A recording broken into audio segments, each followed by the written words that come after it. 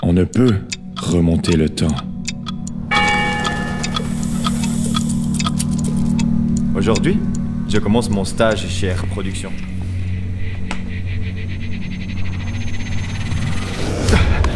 L'apprentissage demande d'affûter son regard, d'être attentif et développer ses sens pour ne laisser passer aucun détail. Le quotidien peut être varié.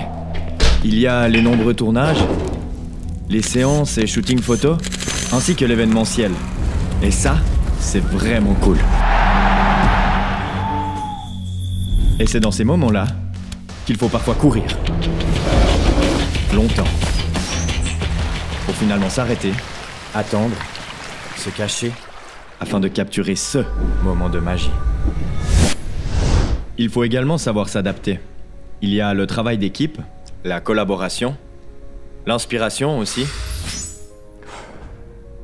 et la rencontre de tas de gens, notamment Nathan, Adieu, Rémi. Tristan, Mathieu, Bonne. David Ciao. et toute l'équipe d'MS. Salut. Capturer Oui, mais il faut aussi normaliser, corriger, modifier, donner un style sans abuser quand même, étirer, ralentir, accélérer, du café, changer d'avis, effacer, recommencer, supprimer, et encore du café. Le tout est une quête constante de la meilleure idée, en passant par les plus mauvaises. Cette chose qui fait du projet une innovation. Aujourd'hui, je finis mon stage chez AirProd, comme on dit par ici.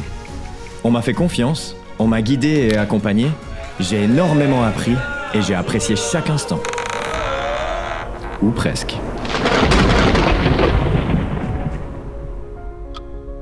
On ne peut remonter le temps. Mais nous pouvons le capturer.